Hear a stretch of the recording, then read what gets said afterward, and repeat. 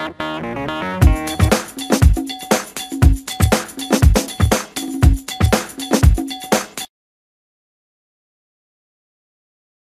YouTube, opinionative reviewer here, and today I got an unboxing of the Joy Factory's RainBallet waterproof case for the iPhone 4. The case supposed to be quote unquote waterproof and after I'm done testing it I'm gonna post a bit of vid on it and giving you my thoughts and features and everything and you're gonna know if it's waterproof or not uh, so let's get into the unboxing I'm gonna open the case up uh, I paid about 39 bucks for this case.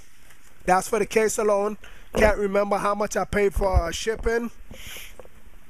And let me get, let me just take it out the case, take it out.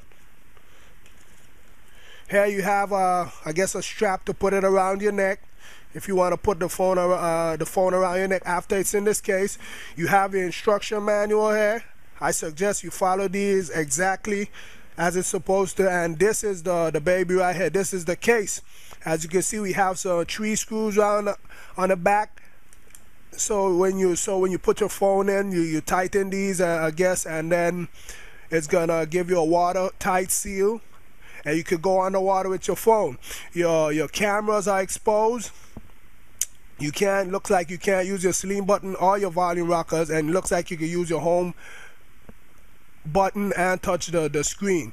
Uh, this uh, this case is not like every other waterproof case because you as you can see you could actually access your phone while it's inside this case while having waterproof protection also. So uh, I think this case is a superb case so far from the unboxing after I'm testing it and everything I'm gonna give you guys my full review on the case. Peace.